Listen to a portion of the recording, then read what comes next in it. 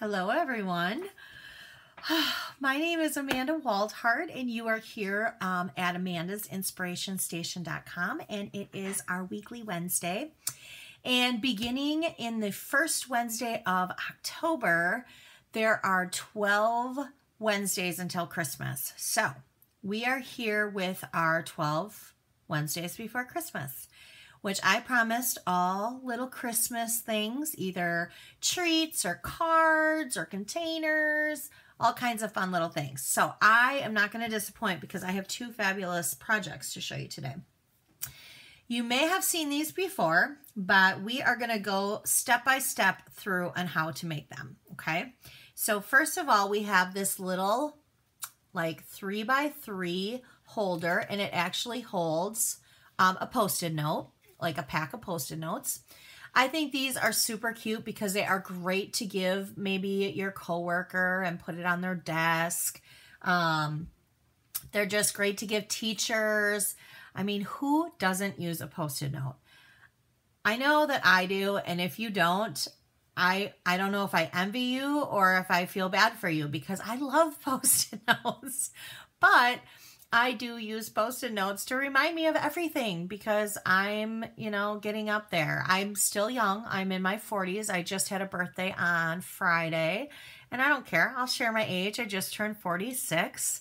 Um, but I'm still young, but I'm still getting to that point where I'm getting forgetful and I have to write down to-do lists and, you know, I'll start saying something in the middle of the sentence. I forget what I'm saying. So Post-it notes, perfect. So we are going to go ahead and we are going to make this cute, adorable little post-it note holder. And then the other thing that we're going to do is, have you guys seen these? They are made um, extra gum and they are big containers. And we're going to turn this fabulous little gum holder into a little gift. And we're going to turn it into this. And then inside is your gum, except for my paper just fell out. Ah, there we go, is your gum. Okay, so I'm going to go ahead and turn you guys down, and we're going to go ahead and get started. All right, let's get started first. You know what, I'm going to turn this off because it looks like that. There we go. We had a big, huge glare on there. We don't want that. So let's get started first. We're going to go ahead and we're going to do the um, little holder. Now, I live in um, southern Wisconsin, and so I um, I do a lot of my shopping at Woodman's, grocery store shopping. And so I get these little post-it notes here, and they're like a dollar nineteen. Um, I know post-its can be pricey, so if you're planning on making a bunch of these, you might want to look into something like this. I know Target has an off-brand of post-it notes that are actually really good. Um, Otherwise, maybe you can look into Amazon too. But we're going to go ahead and I'm going to open this up. I just, I wanted to show you that because that's the brand that I got. I'm going to throw that away. And I'm actually going to bring out, um, instead of me already having it cut and scored, I actually have some of it cut. Um, so I wanted to bring it out so that I can show you just how easy this is, okay? So for the post-it note, you are going to need a six and a half piece by three. Now I have this already cut at three, but we're gonna go ahead and cut it at six and a half. So I'm gonna take it up here and I'm gonna cut it right here at six and a half. Okay, so this is just an extra piece. We're gonna set that aside. Now you wanna score it at three and you wanna score it at three and a half, okay? That's easy. That's it. That's all you do. You have, you have your score lines here. So I'm going to go ahead and I'm going to get out my bone folder and I'm just going to go over my score lines here just like this. All right. Now, I'm going to get out my tear and tape because I am going to put tear and tape on the back of my um, post-it notes. So we're just going to go like this. And we're just going to go like this. And you know what? For good measure, I'm going to put one in the middle. All right. So now I'm going to just peel these off. Those peeled off pretty easy. Now, make sure that your post-it notes are the right way. You don't want to, you know, attach this and have them be on the upside down or the wrong way. So, I have them attached. So, I'm going to go ahead and I'm going to just set it in there. Voila. There. Now we have our holder for our post-it notes, okay? Now we want to decorate the top, okay? So let's bring out the one that we're doing. And I have a piece of designer series paper that is part of the Snowflake Splendor, I believe is what that designer series paper is called. Um, and I'm going to go ahead and I'm going to apply this on after I find my adhesive here. There we go. Now this piece right here will measure at two and three fourths by two and three fourths. It's just a perfect square. All right. So we have that. Now I have my um, punch here. And this is the Label Me Lovely punch. And I am going to use Purple Posy. And I'm just going to punch one out here. Okay.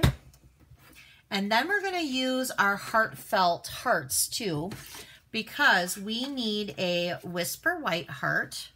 Um, I don't know if you guys ever noticed, but you some people just go straight in, but I like to go in at the corners. I don't know why. It's just something I like to do. And there you go. It's weird. It doesn't have to be. It's just why I do it. I don't know. As you can see, my scrap paper, I just, I don't know why I do that, but I do. This is Misty Moonlight. All right.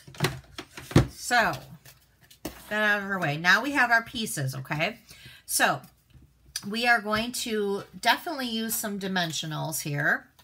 So I'm going to pop up, if I can get my dimensionals off there, there we go. I'm definitely going to pop up this Label Me Lovely piece. Now I do want to put it in the center, but I want to make sure that I have enough room on the left side to put our ribbon. So I may just kind of make it over just a tiny bit. I'm really going to give this some dimension. Um, I, I want to give it some height. So I'm now going to pop up this as well, the heart, the scallop heart, and I'm going to place that over top. Now, before I do this, we do need to stamp. So we are going to need our Misty Moonlight ink pad. And the stamp set that we're using today is the Little Treats. Um, so we're using the little treats. And then this one here is um, especially for you. This is a great stamp set, you guys. This has a lot of nice sayings in it. Um, and it's just a great stamp set. So we're going to use the especially for you. So let's open that up. Let's put that on. Stamp. Perfect. Now, I am going to put on a little gem and we're going to use the, um, I can't think of the name of these gems. Hmm. Let me see if I have an extra pack because I can't think of the name of them. Um, no, I don't. But they're in the big book, big book, um, annual catalog. So I cannot for the life of me think of them. I'm sure somebody out there is watching this is like, I know what it is. I wish I could hear you through the recording. All right, so I went ahead and I put dimensionals on the back of my Whisper White heart, and I'm going to pop that up too. And then what I'm going to do is I'm going to take a big one of these gems, and I'm just going to kind of put it up onto the right corner, okay? Now, I need a bow, so I'm going to get out my bow maker because I am a terrible bow maker unless I have a bow maker. I know some people, I say this every time, but it's true. The people who can do this with a fork impress me. Because I just, I, I, I can't. I can't do it. All right. So, get that out of the way. So now we have that. We are going to need our mini glue dots because we're going to put this on sideways here. And we're going to get a mini glue dot right there.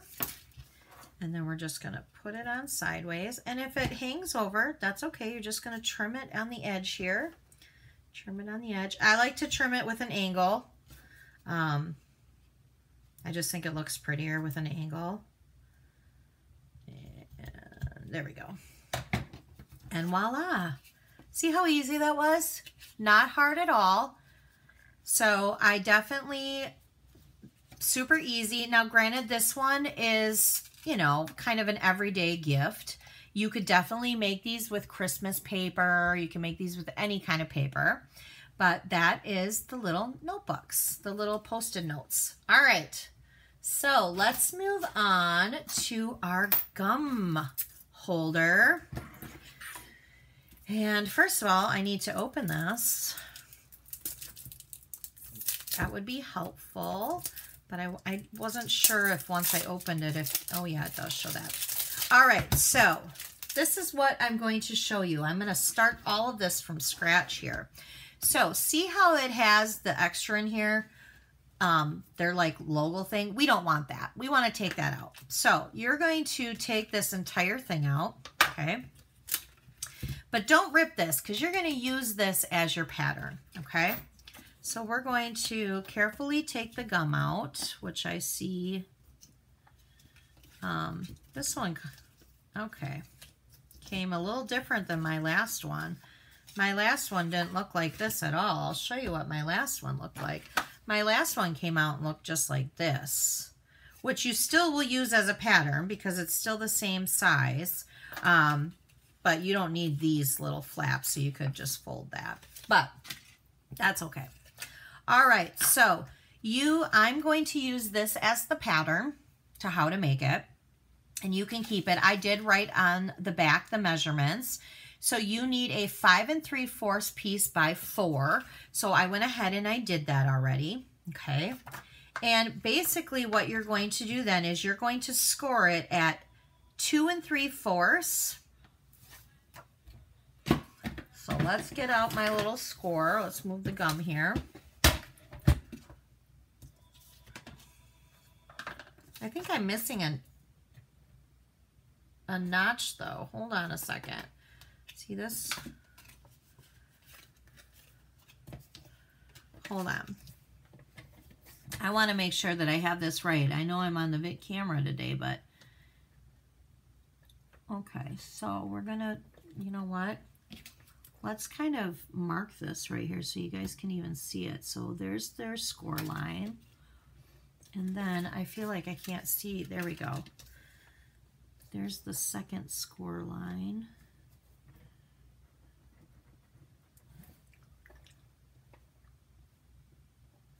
So it's at, okay, so give me a second here. So we are going to score this at, and what did I say that was? Two and that's, you know what? Good thing we didn't do that because that's not right. Good Lord. All right, so I'm going to go by this one because they are the same size. So you're going to score it at three. Yep, three. And then you're going to score it again at three. Let's see here. I don't know what that notch is because I never can remember it. I always have to look at the, I have a like a pitcher. So it's the two notches after the three and a half, um, which is some sort of seven eighths, I think. But we're just going to go like this, and I'm going to go like this because I don't have that picture on there. All right. So, yep, that's me. I don't, I have, I, when it gets into the whole seven eighths and one in sixteenths and all that, I have a picture that I have to look at on the ruler because I'm terrible at it. And I will just openly admit it. I, I get forgetful and I just can't do it. I, I don't remember all of it. All right. Past that, some people can remember all their measurements. I am not one of them. Okay, so I actually want this side, not this side. So let me go ahead and, although this side would be cute too, we could do this side but I like this side. So we're gonna, now we're just gonna go ahead and we're just gonna set it in with the tall side in the back, okay? Yeah, see, this is different. Well, I wonder if this treat box is different. Oh, you guys, you know what? That's why different flavors. This one's a little bit bigger. Look at it, it's even wider on this side. Well, who knew? All right, so you know what? We will need to use this as the pattern because who knew that that was a little bit different? The sizes were different. I thought all the gum would be the same. Well, little did I know. That's all right. We can do this, can't we? All right, so we just need to trim off a tiny little bit. So let's trim off. So if it's at five, let's see here, five and three fourths, let's make it at five and a half. That's what we're going to do. So yes, this one was a little different. Who knew? Five and a half. Okay. Good thing that I am teaching you guys to actually use this as the pattern because they're not all the same. There. There we go. All right. So yes, you're going to want to do it at five and a half. I'm sorry. So it's five and a half by four with the blue one, the peppermint. But if you're doing it with the spearmint, the container is a little bit different. And I guess it, I mean, I guess, I don't know. I would always keep this and then you can use that as your, you know, your pattern. Good thing I was teaching you guys to do that as your pattern, huh? My goodness. All right. Good, good to know. Good to know. Okay, so let's put this gum. I got two pieces in the back, all the way back. See now, and with this spearmint one, all the gum came wrapped like this. I didn't have any loose pieces like that. So maybe it just depends on the flavor or maybe this was like, maybe one's older than the other. Who knows? But we now have our container inside and our gum inside. So that works. All right. Now the piece that you're going to need, this and hopefully is the right size, measures at four and one and a fourth. And what I did is I want this side to be my outside. So I'm going to flip it over. I'm going to stick my two index fingers in and I'm going to just kind of curl it. I don't want to bend, bend the paper. Like I don't want a score line in it. I just kind of want to curl it. So that's why I'm curling it with my um, index fingers. And then I'm just going to set this inside. And there is like a little tiny like, um, I don't know what you want to call it, like a lip. Like a little, and then I just bring it down so it gets stuck on that. There you go. Okay, perfect. All right, we got this, don't we? All right, so we are going to need ribbon, which I am using the polka dot tulle ribbon. And then we are going to use the So Many Snowflakes um, dies. These are the two dies that I have chosen. We're going to do the big one in the um, purple posy. And then we're going to do, which I don't need that much. Then we're going to do um, the littler one in our balmy blue. So I'm going to go ahead and I'm going to bring out my cut and emboss machine. So I'll bring that out here. And we have the plates. Let's get the plates all ready. So to use dies, you need plate one, plate two, plate three. Then you will put your project on plate three. So we're going to run both of them through at the same time. Then you need your second plate three to place over top. And you're just going to run it through. All right.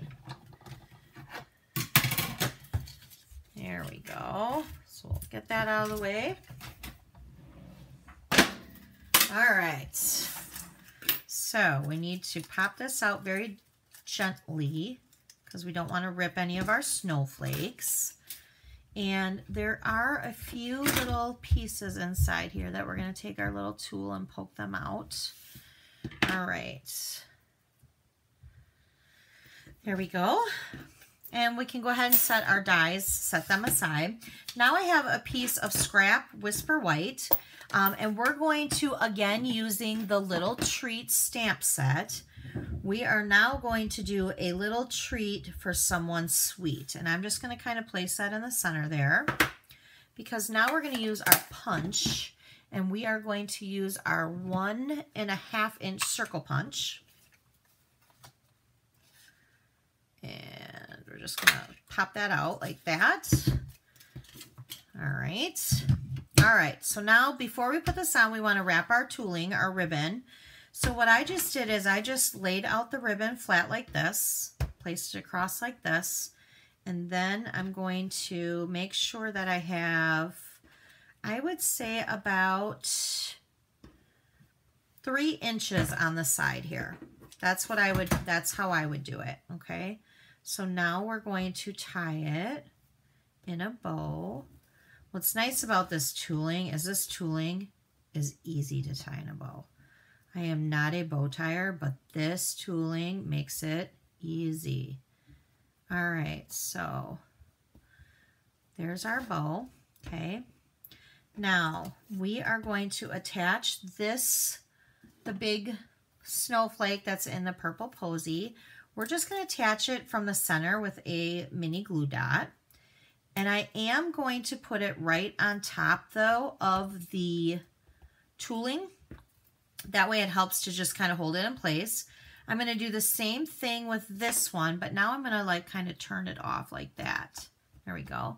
Now, I don't want to see my center of my glue dot, so I'm going to use another one of these big, clear gems. I think they're elegant gems or something like that. I really can't remember.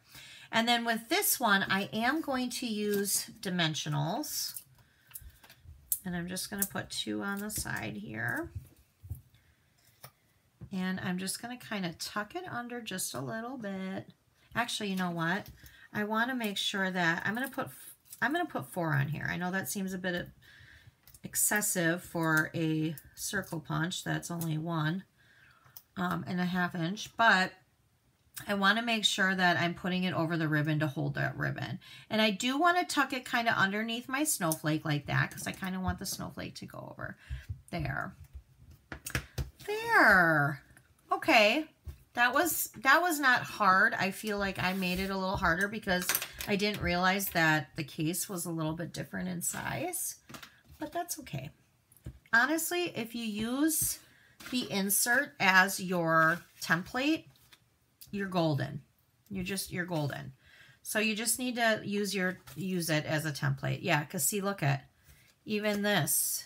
Well, here, I'll put this, because this is bigger. So this one was longer than this one. But that's okay. We, we have it figured out, don't we? Because we're smart cookies, aren't we? Yes, we are.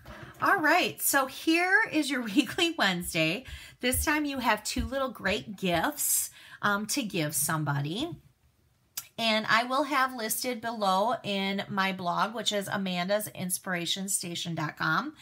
If you guys want, um, if you guys want to make these, um, I will have all the measurements and everything also listed in my blog for you. Um, but I will put a little exception of be careful. Use the pattern for the, um, the gum holder. So, all right. I hope you guys enjoyed this week's Weekly Wednesday. I feel like I'm kind of all over the board right now. Like I just drank a monster or something. I did not drink a monster and I only had one cup of coffee. Here. I only had one cup of coffee this morning, I swear. But um, I probably, I don't know, you know, sometimes we just have these days and this is one of my days. So, but I do love how they turned out. So they're super cute. Again, you can make them in Christmas. You can make them for holidays. They're just cute little gifts to give somebody. So there's that. All right. I hope you guys have a great rest of your day. Great rest of your week. I know this weekend is Halloween. Um, so be safe if you have kids. Hope you get to somewhat enjoy it. I know COVID kind of ruins things for people, but anyway, have a great day. Bye.